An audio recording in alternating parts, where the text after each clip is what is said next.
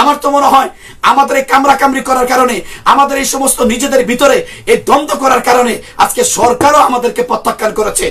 আমি আমি তো আমি তো বলি যে সরকার বেফাককে প্রত্যাখ্যান করছে। সরকার হাইয়াকে প্রত্যাখ্যান করে আপনার ওই আল্লামা মুস্তাক সাহ যিনি বেফাক এবং হাইয়ার কোন দায়িত্বশীল না ওনাকে দ্বারা ওনার দ্বারা ঘোষণা দিয়েছে। ইয়াহিয়া মাহমুদ সাহেব, বেফাক, বেফাকের দায়িত্বশীল না ওনার তারা ঘোষণা দিয়েছে। আজকে দেখেন, শুধু আজকে আপনার কমি সন্তানদের হৃদয় থেকে কিন্তু সরে যাচ্ছেন না, কমি যুবকদের হৃদয় থেকে সরে যাচ্ছেন না, কমি মোহতামিমদের হৃদয় থেকে সরে যাচ্ছেন না, কমি প্রাইভেট মাদ্রাসাগুলোর প্রিন্সিপালদের হৃদয় থেকে সরে যাচ্ছেন না, কমি অসহায় শিক্ষকদের হৃদয় থেকে আপনার সরে যাচ্ছেন না। আপনার সরকারের কাছেও আপনাদের ব্যাপারে বিষয়টা অস্পষ্ট হয়ে গেছে। আরও সচেতন হন, মেহরবানি করে সচেতন হন আর কিছু সচেতন যুবক আলেমদেরকে বেফাকের মতো অন্তর্ভুক্ত করেন। কিছু সচেতন যুবক আলেমদেরকে বেফাকের মতো অন্তর্ভুক্ত করেন। আশা করি লাভবান হবেন, জাতি লাভবান হবে। আজকে এমন একটি নুরানিক প্রতিষ্ঠান, কবি মাদ্রাসা, আজকে কি শুরু হলো? আপনারা ঠিক হন, আপনারা নিজেরা ঠিক হন। তারপরে যারা লেখালেখি করে তাদের বিরুদ্ধে কথা বলেন। মিডিয়াতে এসে একটু কথা বলবে, কথা কথা কথা বলতে যারা শরম করে, কথা বলতে যারা সাহস করে না, ওনারা এত বড় একটা শিক্ষা প্রতিষ্ঠান কীভাবে চালায় এত বড় শিক্ষা বোর্ড কীভাবে চালাবে? সুতরাং কমি সন্তানরা কমি শিক্ষকরা, আপনাদেরকে, আপনারা যারা, আপনাদের সিন্ডিকেট কয়েকজন সিন্ডিকেটের কারণে, কয়েকজনের কারণে আমি সবাইকে দোষারোপ করছি না। আলহামদুলিল্লাহ আলহামদুলিল্লাহ বেফাকের মধ্যে অনেক গুরুত্বপূর্ণ ব্যক্তিরা আছে মাশাল্লাহ মাশাল্লাহ যারা সত্য কথা বলেন, যারা মানবতার পাশে দাঁড়ানোর চেষ্টা করেন এই কমি মাদ্রাসাগুলোর অসহায় এই সময়গুলোতে পাশে দাঁড়ানোর কথা বলেছেন, আপনারা জোরালোভাবে উপস্থাপন করেছেন, কিন্তু আপনাদের কিছু করার নাই। আপনারা অসহায়। আপনার অসহায়, সেখানে কয়েকজনের সিন্ডিকেটে সবকিছু পরিচালিত হয়। যে পেফাকের সদস্য না, সেও ওখানে গিয়া মাতাবুরি করে। এগুলো মিডিয়াতে খবর প্রকাশ হয়। আপনাদের ব্যাপারে বলছি না। আপনাদের ব্যাপারে আমাদের কোনো কথা নাই। কিন্তু যে সিন্ডিকেট যাদের কারণে আজকে আমাদের কমই মাদ্রাসাগুলো এই দিক নির্দেশনা পাচ্ছে না, শিক্ষকরা বিপদের মুহূর্তে বেফাককে পাচ্ছে না, তাহলে কি বলা চলে না কথা? বেফাক হাইয়ারা আমাদেরকে ওনাদের ওনাদের প্রয়োজনে ব্যবহার করে। এই কথাটা কি বলা হয় না, বলা যায় না? যে বেফাক হাইয়া ওনাদের প্রয়োজনে আমাদেরকে ব্যবহার করছে? আর আমাদের প্রয়োজনে বেফাক হাইয়া নাই, এ কথা বলা চলে না। পরিস্থিতিতে এমনই হচ্ছে। কুল, কুল্লু শাইইন ইউরাফু বি আসদাদিহা সময়ও তো বলে দেয়, আজকে বিপদে পড়ছি আমরা, তাই আপনারা আপনারা পাশে দাঁড়ান না। সুতরাং বিপদের সময় যে পাশে দাঁড়ায় না সে কোনোদিন বন্ধু হতে পারে না। যাক, আমার আবেদন হলো, বেফাকুল মাতারিসুল আরবিয়া আমাদের হৃদয়ের জা- হৃদয়ের ভালোবাসার জায়গা। আমাদের আপনার সমালোচনাকারীদের সমালোচনাকে আমলে নেন। সমালোচনাকারীদেরকে বন্ধু ভাবেন। আপনার শত্রু ভাইবেন না, ফোন দিয়ে আমাদের কণ্ঠস্তব্ধ করার চেষ্টা করেন না। যদি আমাদেরকে ফোন দিয়ে সামনে কণ্ঠস্তব্ধ করেন, তাহলে আপনাদের নাম, নামও প্রকাশ করে দিব আমরা এসে। আপনি মনে করেন এই কথা যে আপনারা এখন মানে এই আপনাদের অনুমতি নিয়ে আমাদের লাইভে আসতে হবে। আপনাদের অনুমতি নিয়ে আমাদের লিখতে হবে, আমরা স্বাধীন।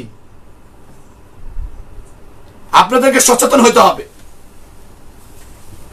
আজকে দেখেন একটা একটা ঘোষণা হাইয়াতুল উলিয়ার একটা ঘোষণা যে সাতে সেপ্টেম্বর দাওরা হাদিসের পরীক্ষা হবে। এরকম একটা আপনার হাইয়াতুল উলিয়ার একটা নোটিশ একটা ঘোষণা জাল করে এটা প্রচার হচ্ছে আপনার সোশ্যাল মিডিয়াতে। এই যে সোশ্যাল মিডিয়া সবাই দেখল অনেকে ভুলে এটা পোস্ট করল। ভুলে এটা পোস্ট করল, সবাই তারপরে না মনে করছে এটা আল্লাহ আব্দুল কুদ্দুস সাহেব স্বাক্ষর দিয়ে দিছে পেফাকের মহাসচিব সাহেব। সবাই তো অনেক ছাত্র ফোন দিচ্ছে, অনেকে ফোন দিচ্ছে, হুজুর, তাহলে কি সেপ্টেম্বর সাত তারিখে আমাদের পরীক্ষা হবে? আমি তো এরকম তো খবর জানি না। আজকে পর্যন্ত এই যে কখন, সকাল থেকে এই ঘোষণাটা, এই নোটিশটা প্রচার হচ্ছে ফেসবুকের মধ্যে। বেফাক হাইয়ার দায়িত্বশীল কেউ ছিল না। ওনারা কি? এই নোটিশটা যে আমরা দেই নাই, বা এই নোটিশকে কেউ বিশ্বাস করেন না, বা এটা কোনো, এটা সততা নাই, এরকম একটা প্রতিবাদ করা দরকার ছিল না? পারে নাই। এখন পর্যন্ত করে নাই। যা হোক, আপনাদের কাছে আমার আকুতি আমার আকুতি না, লক্ষ লক্ষ যুবকদের আকুতি, লক্ষ লক্ষ কৌমি সন্তানের আকুতি, লক্ষ লক্ষ কমি ওলামাদের আকুতি আমার মতন কৌমি আনেম আমিও ষোলো বছর শিক্ষকতা করছি, আলহামদুলিল্লাহ। শিক্ষকতার জমানা ষোলো বছর পার হয়ে গেছে, আল্লাহর মেহরবানি। আমার যেমন কষ্ট হচ্ছে, এরকম সবার কষ্ট হচ্ছে। আমরা যখন মাঝে মাঝে কোথাও বসি, তখন সবার এই কষ্ট, সবাই এই মনের দুঃখের কথাগুলো বলে। আপনাদেরকে আমাদের কষ্ট আর কান্না তো উত্তরা থেকে আমাদের ওই আপনাদের কা- কেন্দ্র পর্যন্ত যাবে না। আমাদের কান্নাকাটি তো, ওই চাঁদপুরের লোকদের কান্নাকাটি তো ঢাকা পর্যন্ত পৌঁছবে না, আপনাদের বোর্ডের পর্যন্ত পৌঁছবে না, উত্তরবঙ্গের ওই অসহায় আলেমুল আমাদের কান্নাকাটি তো বোর্ড পর্যন্ত পৌঁছবে না। এই জন্য মাঝে মাঝে কান্নাকাটি নিচেও শুনতে যেতে হয়। কেন ওমর রাদি আল্লাহ তালানোর ঘটনা শুধু কেবল বলেন, বয়ানের মধ্যে ওমর রাদি আল্লাহ তালানোর ঘটনা বলেন, উনি খলিফাতুল মুসলিমিন হওয়ার পরেও উনি রাতের অন্ধকারে ছদ্মবেশে গিয়ে মানুষের দুঃখ সুখ শুনতেন। আপনারা কতদিন মানুষের ছদ্মবেশে আপনারা আমাদের দুঃখ সুখ শুনছেন? আপনাদের ব্যাপারে কে কি বলে? কয়দিন শুনেছেন আপনারা? আপনারা কেউ শুনেন নাই, বরং আপনাদের ব্যাপারে কোন দায়িত্বশীলরা যদি ওখানে মিটিং এ আলোচনা করে, তাকে সেখান থেকে আপনারা বের করে দেন, তাকেই তার কণ্ঠকে আপনারা রুদ্ধ করার চেষ্টা করেন। আপনাদের প্রতি অনুরোধ, দয়া করে, মেহরবানি করে একটা পদ একটা আইন করেন বেফাকের, এক পদ, একাধিক পদ একজন ব্যক্তি নিতে পারে না। একাধিক পদ একজন ব্যক্তি নিতে পারে না। চেয়ারম্যান, ভারপ্রাপ্ত চেয়ারম্যান কু চেয়ারম্যান মহাসচিব। আরে ভাই, সবগুলো যদি একজন মানুষের নিয়ে- থাকে, একজন অসুস্থ হলো তো তো এই তিনটা পদে অসুস্থ। আর যদি তিনটা পদ যদি তিনজন লোকের কাছে থাকতো, একজন অসুস্থ হলে আরেকজন কাজ করতে পারতো, আরেকজন অসুস্থ হলে আরেকজন কাজ করতে পারতো, এর দ্বারা কি বোঝা যাচ্ছে? বোঝা যাচ্ছে বাংলাদেশে আলিমুল আমাদের মধ্যে কেউ যোগ্য নাই, সব যোগ্যতা শুধু একজনেরই। আর বাংলাদেশে কোনো যোগ্য যোগ্য কোনো আলেমোলামা নাই।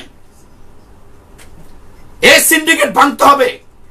কারাই পরামর্শ, একজন মানুষ এতগুলো পদ নিয়ে যেদিন মিটিং হলো, যেগুলো যেদিন এটা সিদ্ধান্ত হলো, এটা কীভাবে হলো?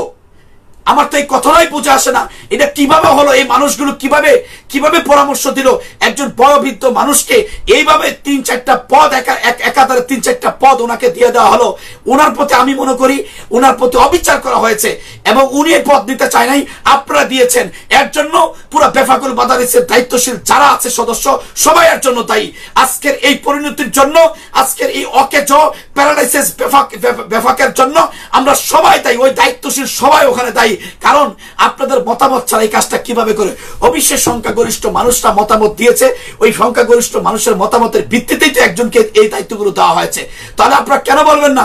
যদি এটাই তো আমরা মনে করি, আর যদি বলে, না, আমাদের মতামত না হয় নাই, আমরা ওখানে সদস্য কমিটির সদস্য হওয়ার পরে আমাদের মত না নিয়ে এটাকে জোর করে চাপিয়ে দিয়েছে, তাহলে কেন আপনার প্রতিবাদ করেন না? আপনারা আমানতের খেয়ানত করেছেন। আমাদের এই জাতির কর্মী অঙ্গনের সাথে আপনারা আমানতের খেয়ানত করেছেন। আল্লাহ কুল্লুকুম রাইন অকুল্লুকুম মাসুলুন আন আপনারা শুধু কেবল অন্যদেরকে ওয়াজ শুনান, যে জিম্মাদারি সম্পর্কে জিজ্ঞেস করা হবে। আপনি তো একজন দায়িত্বশীল ছিলেন। কেন আপনি প্রতিবাদ করেন নাই? কেন আপনি এই সমস্ত বিষয়গুলো খুলে বলেন নাই? আপনারাও আপনাদের জিম্মাদারি সম্পর্কে আল্লাহর কাছে জবাবদিহিতা করতে হবে। আপনারা মাত্র অল্প কিছু মাদ্রাসার, অল্প কিছু মাদ্রাসার পাশে দাঁড়াতে পারলেন না। সব মাদ্রাসা তো অসহায় না। অল্প কিছু মাদ্রাসার পাশে দাঁড়াতে পারেন না। আমরা কীভাবে সারা বিশ্ব জয় করার স্বপ্ন দেখব আপনাদেরকে নিয়ে? আপনি একটু সচেতন হন। দয়া করে কান খুলেন, দয়া করে চক্ষু খুলেন, দয়া করে জবানটা একটু খুলেন, দয়া করে একটু ঠান্ডা মাথা চিন্তা করেন, দয়া করে একটু বিবেক নিয়ে ভাইবেন, অসহায় শিক্ষকদের কান্না আপনাদের অন্তরের মধ্যে রাইখেন। সম্মন বুকমুন হয়ে যায় না।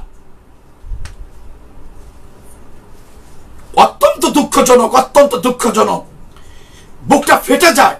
আজকে সারা বাংলাদেশের মনে হয় আর কোনো কিচ্ছু নাই। শুধুমাত্র আমাদের নিয়েই সবাই ব্যস্ত। শুধুমাত্র আমরা আমরা শুধু কেবল কমি মাদ্রাসা নিয়ে সবাই যার যার জায়গায় কাজ করে যাচ্ছে। বেদাতিকে নিয়ে কোনো আলোচনা নাই, জামাত ইসলাম নিয়ে কোনো আলোচনা নাই, আপনার রেজবিদের নিয়ে কোনো আলোচনা নাই, আলাদ ইসলামকে নিয়ে কোনো আলোচনা নাই, সবাই এই চামে চামে কাজ করে যাচ্ছে। খ্রিস্টান মিশনারিরা চামে চামে আপনার মুসলমানদেরকে খ্রিস্টান বানিয়ে যাচ্ছে। ওই যে আফগানের মধ্যে সহযোগিতা করে আপনার চামে চামে তারা তারা বিদ্রোহী বানিয়ে যাচ্ছে। আপনার রোহিঙ্গাদের মাঝে সেবামূলক কাজ করে, চামে চামে আমার মুসলমান ভাইদের খ্রিস্টান বানিয়ে ফেলছে বিদর্মী করে ফেলছে, কাদিয়ানিরা চামে চামে কাজ করে আমার মুসলমানদেরকে বিদর্মী করে ফেলছে। এগুলো আর আমরা আছি শুধু কেবল আমাদের নিজেদের নিয়ে ঝগড়া। একজন আমাকে ফোন করে বলে, এই আপনি এগুলো বলতেছেন, আমাদের জিনিস বাইরে